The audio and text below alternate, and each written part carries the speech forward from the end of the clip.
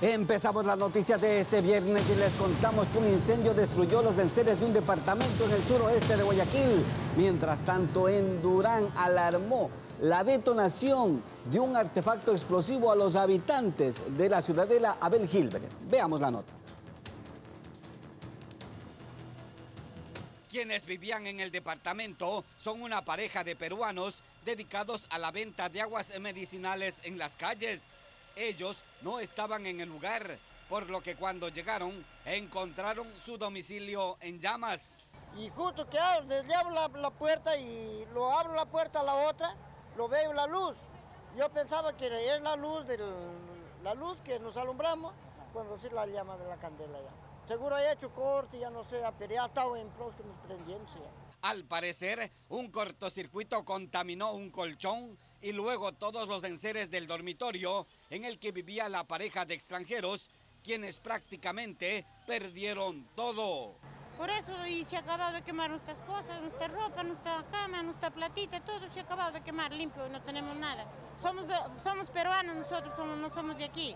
Al menos seis unidades del cuerpo de bomberos llegaron al sitio de la emergencia, quienes actuaron de inmediato y sofocaron las llamas para evitar que contaminen a las casas aledañas. Al momento no podemos deducir las causas que se originaron, pero ya cuando se llegó el personal, la, vivienda estaba ya encendida, un dormitorio prácticamente, donde ah, puede haber sido un cortocircuito que se originó y un colchón fue el que estaba inflamado. El siniestro registrado cerca de las 23 horas de este jueves en las calles Sedalana entre la 16 y la 17, sector del Cisne 2, no dejó víctimas, únicamente pérdidas materiales de consideración, por lo que los afectados necesitan ayuda urgente.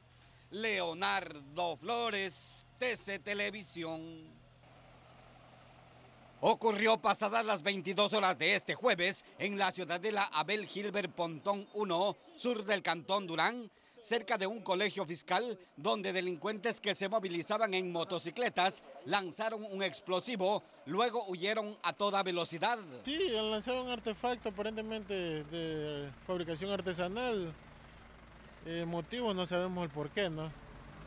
No hay negocio, no existe nada por el estilo. El artefacto explosivo de bajo poder, aparentemente de fabricación casera, detonó en la vereda sin causar daños de consideración, pero sí un gran susto para todo el vecindario. escucharon los vecinos que dicen que unas motos salieron cruzando.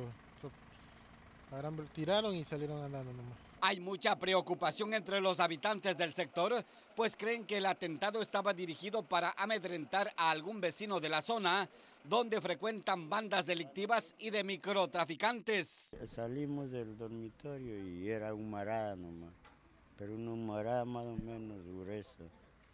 Y pero el, el sonido como que alguna camareta recargada.